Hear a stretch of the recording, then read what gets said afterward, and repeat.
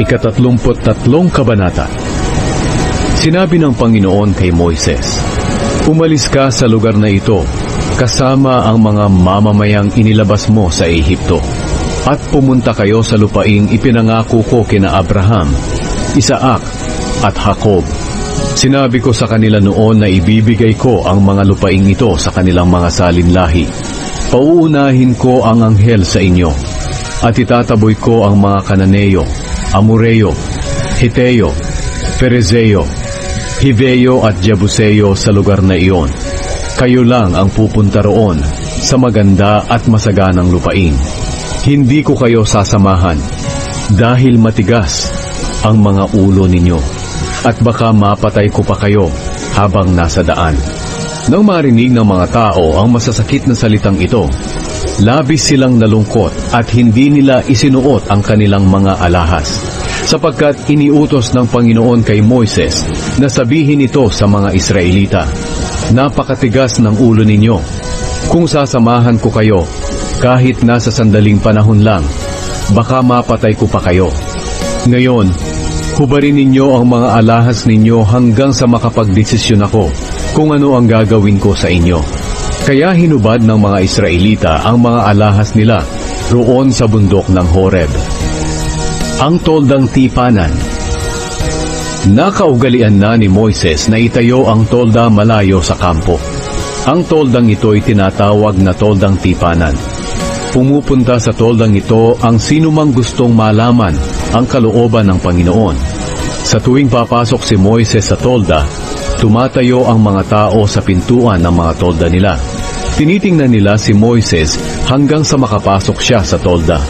At habang naroon si Moises sa loob, bumababa ang makapal na ulap sa pintuan ng tolda habang nakikipag-usap ang Panginoon sa kanya.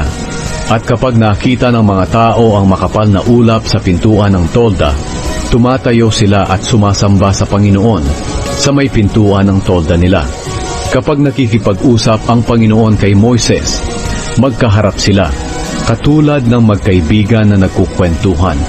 Pagkatapos, bumabalik si Moises sa kampo. Pero ang binata niyang lingkod na si Josue na anak ni Nun ay nananatili sa tolda. Nakita ni Moises ang makapangyarihang presensya ng Diyos.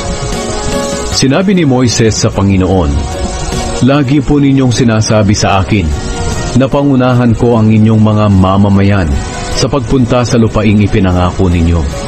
Pero hindi pa po ninyo ipinapaalam kung sino ang pasasamahin ninyo sa akin. Sinabi pa po ninyo na kilalang kilala niyo ako at nalulugod kayo sa akin.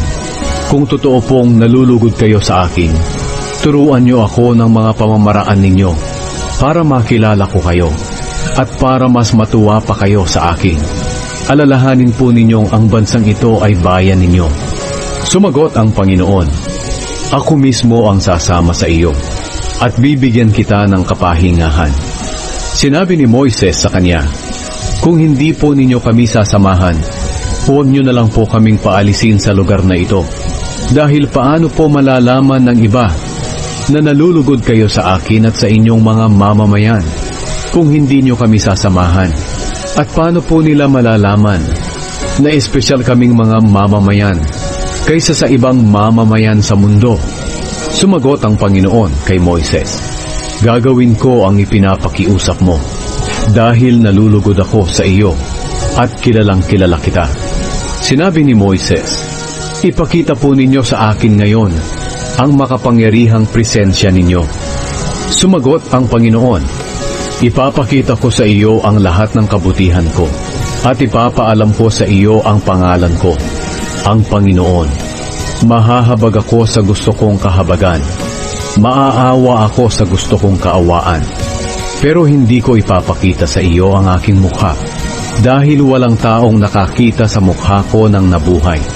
Sinabi ng Panginoon, Tumayo ka rito sa bato malapit sa akin at habang dumadaan ang makapangyarihang presensya ko, ipapasok kita sa siwang ng bato at tatakpan kita ng aking kamay hanggang sa makadaan ako. Pagkatapos tatanggalin ko ang kamay ko at makikita mo ang likod ko, pero hindi ang aking mukha.